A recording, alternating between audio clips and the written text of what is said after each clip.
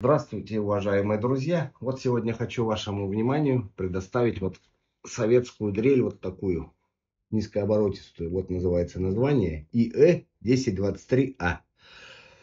Какой год-то? 80 какой-то второй, что ли. Вот не вижу, вот здесь вот написано. В общем, так это называется даже шкантоверт. То есть в брусе сверлили отверстие специально под шканты. То есть брус, брус собирали. Это низкооборотистая дрель.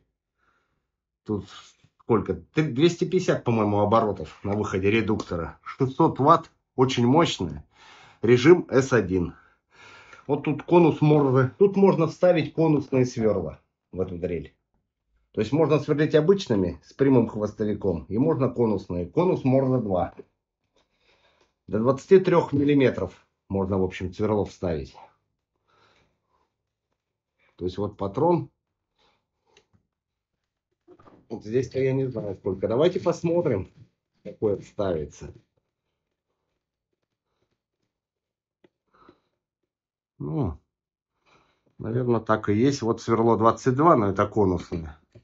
Да, наверное, 23 войдет. Так и есть.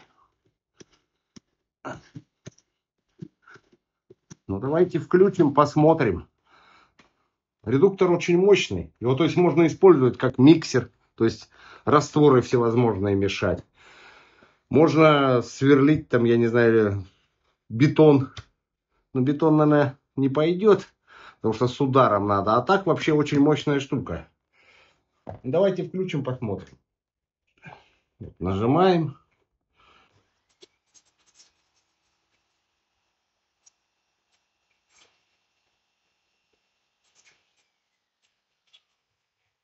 Да, наверное, оборотов 250-300 есть.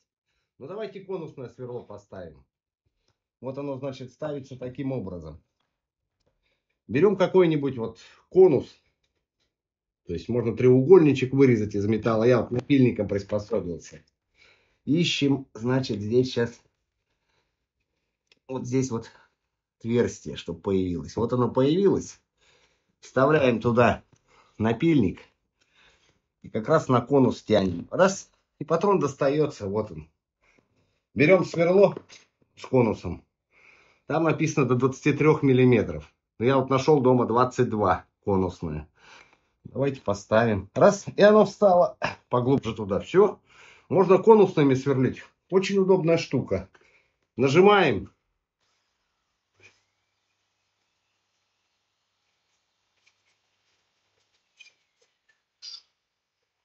И дело пошло.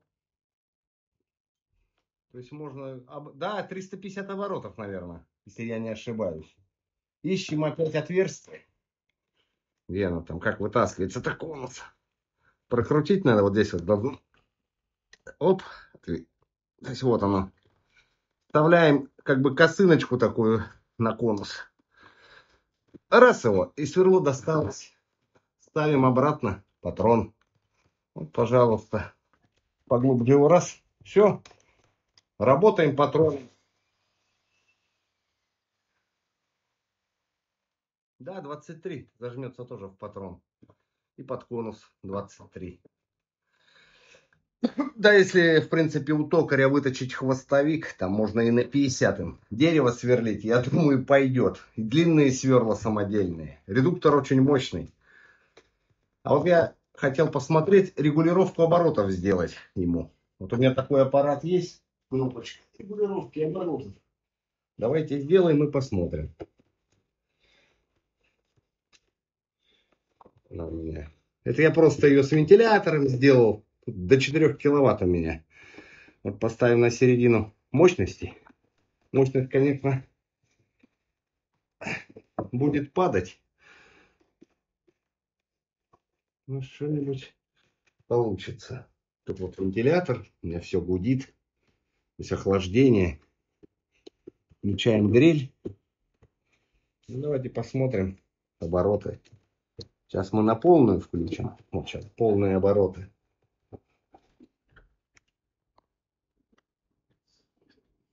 Нажимаем.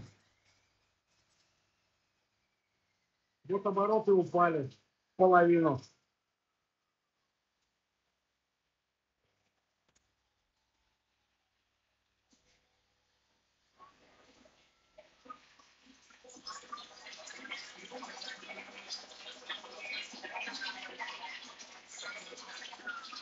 Ну, сейчас оборотов 150, наверное.